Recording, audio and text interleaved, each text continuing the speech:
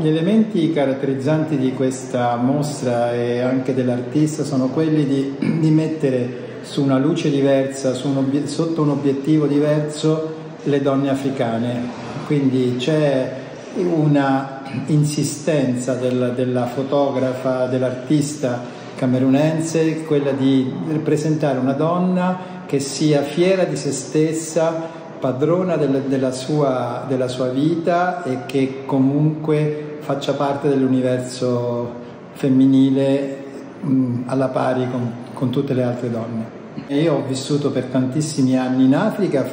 proprio vivendo lì e, e per vent'anni mi sono occupato di emergenza umanitaria e quindi conosco l'Africa nel suo profondo, nelle sue difficoltà, nel suo modo di essere e, e come vengono affrontate dalla società e dalle persone che vivono in Africa quello che è la loro difficoltà di vita. Eh, sicuramente c'è un cambiamento anche nella società camerunense nel portare a un nuovo ruolo della donna, anche se non nascondiamo le difficoltà, e l'arte è uno di questi modi di portare a,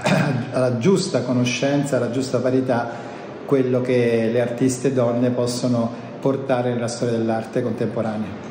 La mostra sarà al Museo in Trastevere fino al 6 di ottobre nel cuore di Roma e vi invitiamo perché è un museo dedicato alla fotografia e questa mostra eh, ne fa parte in maniera molto bella.